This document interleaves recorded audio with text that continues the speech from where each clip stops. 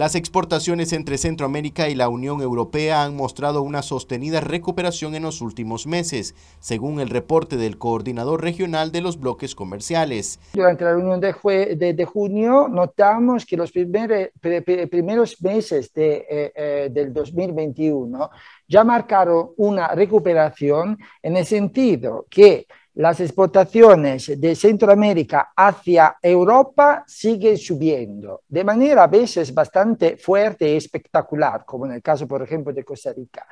Y en el mismo tiempo, las importaciones desde Europa también se están recuperando.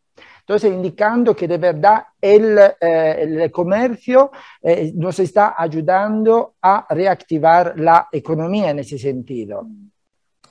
Eh, eh, claramente eh, las importaciones de Centroamérica son sobre todo importaciones desde Europa de maquinarias y de insumos que de una manera se necesitan en la región para la reactivación económica. Ese es un rasgo de nuestra relación bilateral que cada vez se hace más fuerte. Sin embargo, hay algunos aspectos que aún deben superarse para continuar aprovechando el máximo del acuerdo.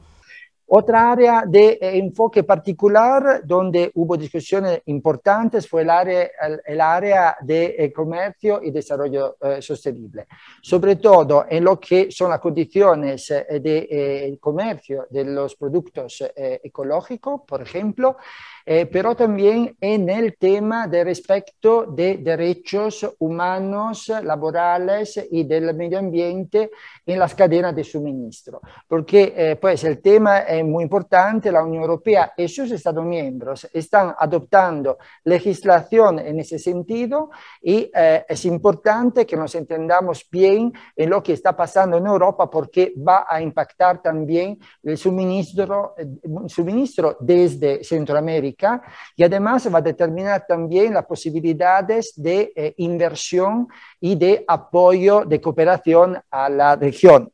Marcos Medina, Noticias 12.